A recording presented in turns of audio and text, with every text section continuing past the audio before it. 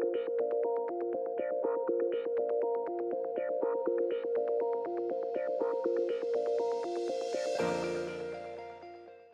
welcome to the uh, EPLAN blog. Uh, thanks for joining us.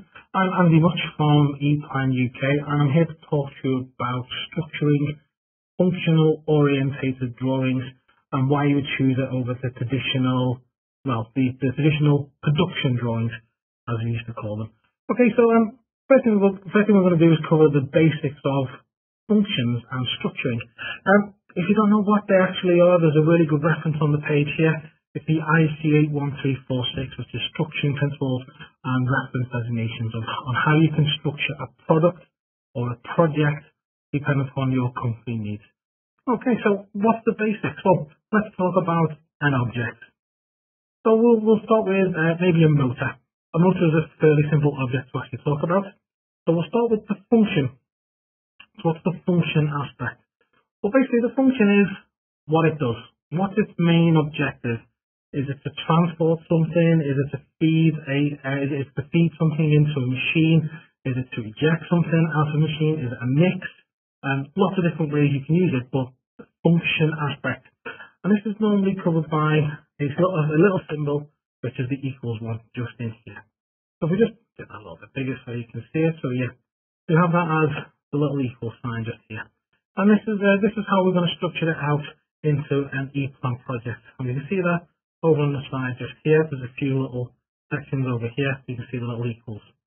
So you can see it's a machine op it's a machine operation, it's a valve control, it's something to do with lighting, maybe it's the emergency stop system, but we'll talk about motor. So basically for motors it could be a grinding motor, a positioning motor, transport motor. It's physically what the main objective of that motor is. Okay, moving on from there, we then have something called the location. Okay, so location aspect. Where can you find it? And where you can find it is generally, is generally um, preceded by a plus sign. Okay, so we can see something in here as well. So there you see enclosure one.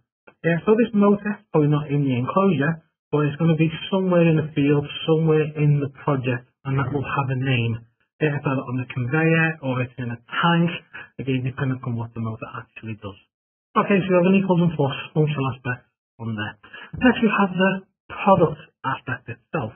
This is generally precluded by a, a hyphen. So there we go. Some people call it a dash, but yeah, it, it, it's, a, it's a hyphen. And here we can say actually it's motor 1, motor 2, motor 3. There could be two stereo motors. So we want to make sure it's M1, M2, so on and so forth. So again, this is the actual difference between the object itself. What does it do? What's its main objective? Where can you find it? And actually, what's its very distinct name? By doing this in, in, a, in, a, in a higher level, what you can actually work out is you can have very distinct names for an object that makes it easier for everybody to find it. And I mean everybody. The panel builder probably doesn't care what it does. He just wants to know where to find it. The guy who needs to physically fix the project when something goes wrong, he probably doesn't want to know the function and he wants to know where to find it. The guy who physically builds it, as in the technicians actually building it all up or wiring to it, yeah, he doesn't care about the function. He just wants to know where to find it and which particular one he's actually using. So those three aspects allow you to see a project in three different ways. Those three different ways can mean a hell of a lot of data for the right person at the right time. And that's why in EPLAN we teach the structuring system for when we do projects. The last one we actually see down in this bottom corner is a separate reference, it's the IEC 61355. Uh, this is the documentation classes. But then if you have a really big project, a huge thing, and you have to go through paper and paper and pages and pages, we can break down the page structure as well. Over here you can see we have EFS1. So that one, you can bring in this sign. The ampersand, as we say in English. Yeah, not all great at that one, but yeah, the ampersand on there, that, that then precludes the actual page itself to tell you what type of page you're looking at. So here you can see you can see an electrical schematic. If I go a little bit further up, I can then see things like a summarized parts list and ETA1. I can see a cable overview. But again, this is going to make sure that the right person gets the right information as quickly as possible.